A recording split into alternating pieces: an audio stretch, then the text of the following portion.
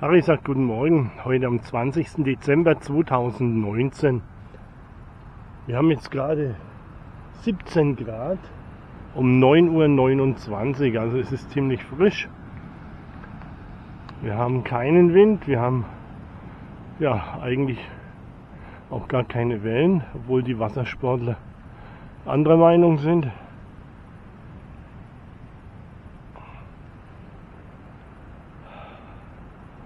Es ist bewölkt im Moment, aber wir sehen ihn, den blauen Himmel.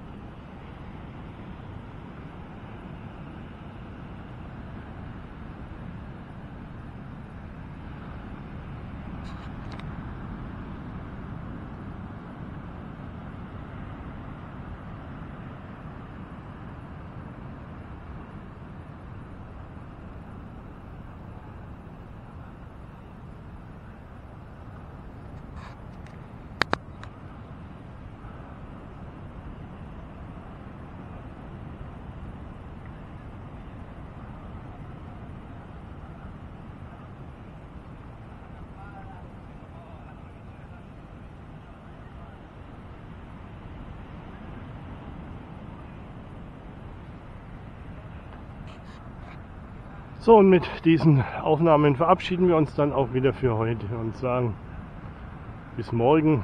Hasta mañana.